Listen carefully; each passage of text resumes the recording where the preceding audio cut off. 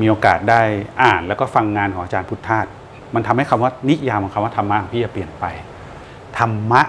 แปลว่าธรรมชาติ ธรรมะแปลว่าความจริงของชีวิตและทุกสิ่ง ถ้าเราอยากรู้จักธรรมะ ธรรมะที่เราต้องเริ่มที่จะรู้จักก็คือธรรมะ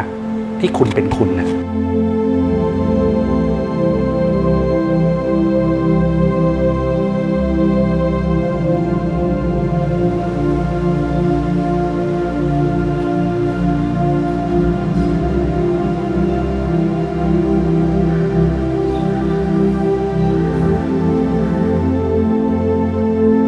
แล้ววิชาที่น่าเรียนที่สุดวิชาหนึ่งในโลกในชีวิตคือการรู้จักตัวเองอย่างแท้จริงครับ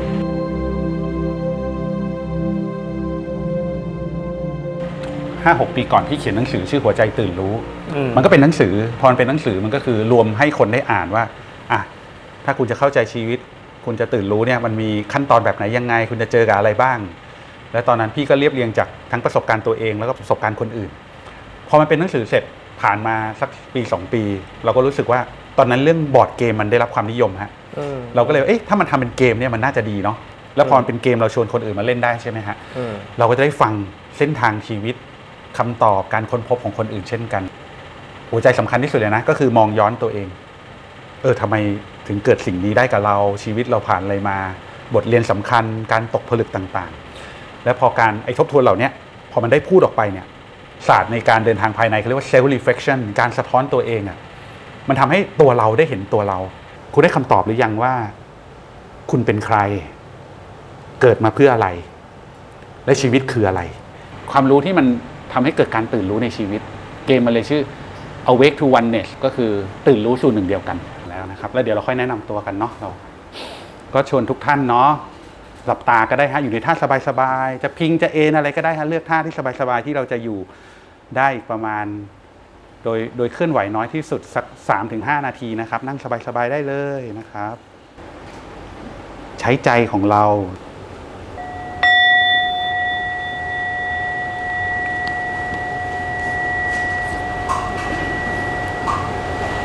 สิ่งที่พี่เลือกได้จริงๆคือได้กลับมากลับมาเดินทางภายในของตัวเราเอง ทำให้ได้เห็นทั้งความนับถือศาสนาอะไรไม่ว่าก็จะมีความเชื่ออะไร แต่จริงๆท้ายที่สุดจริงๆมันก็คือความงามชื่อโอนะคะเป็นแม่คิดอ่าขอบคุณแม่ขอบคุณค่ะแม่แล้วก็รู้จักเกมนี้จากคิดเลยค่ะอ่าพอเรารู้ตัวเองเนี่ย มันก็จะรู้รู้ความเป็นมาองค์ประกอบ รู้จุดแข็งความถนัดสิ่งที่เรารัก รวมถึงจุดอ่อนสิ่งที่เราไม่ชอบ สิ่งที่เราซ่อนไว้ข้างในตัวด้วย ความกลัว สิ่งที่ซ่อนเลนจุดอ่อน ก็เป็นส่วนหนึ่งของเราเช่นกัน พอเห็นมันมันครบเนี่ยเราเลือกใช้ได้ ทุกทุกคนก็อยู่ในสภาวะนี้เช่นกัน แต่ไม่ใช่ทุกคนจะมีเวลาใคร่ควญจนเห็นความจริงของตัวเองจงหมดไอ้คำว่าหลับเนี่ยมันก็คือ คนที่บางทีเขายังไม่รู้จักตัวเองทั้งหมดเลย แล้วเขาเผลอทำอะไรออกมาตาม ตามความเคยชิน ตามความกลัวหรือสิ่งที่เขากังวลอยู่ในใจพอเขาไม่มีสติเนี่ยส่วนใหญ่จะถูกได้ออกมาจาก ความกลัวและความต้องการของตัวตน ไม่ใช่ว่าไม่โกรธนะ ไม่ใช่ว่าไม่ไม่เคืองเลยนะ หรือไม่ใช่ว่าหมดความโลภนะ แต่เรารู้ทันกลไกและพลังงานเหล่าเนี้ยแล้วเราเรามีสิทธิ์ที่จะเลือกได้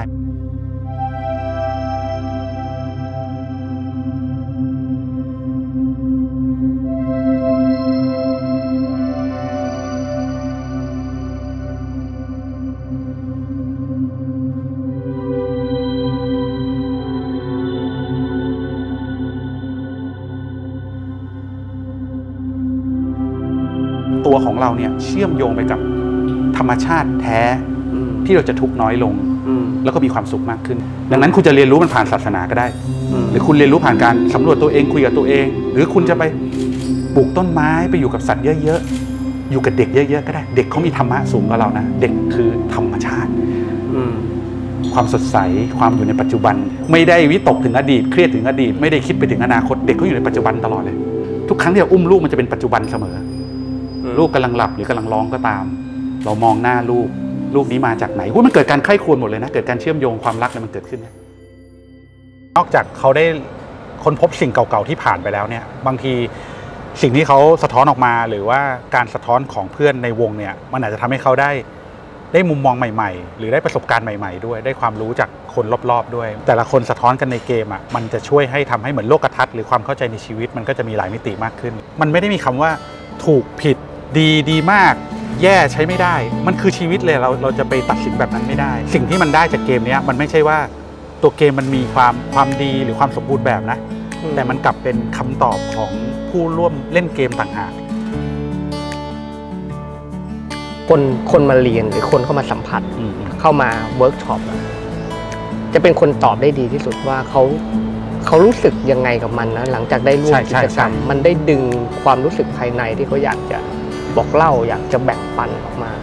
มันดูเหมือนผมเหนื่อยที่ต้องมานั่งนำเกมแต่ว่าจริง ๆ แล้วผมกับขอบคุณด้วยซ้ำที่เขามาเปิดเผยชีวิต ให้เราได้ฟังกันมันเหมือนเราได้อ่านหนังสือชีวิตตั้งครั้งหนึ่งสองเล่มสามเล่มสี่เล่มแต่ละชีวิตของแต่ละคนมาซึ่งเราก็กลายเป็นหนึ่งใน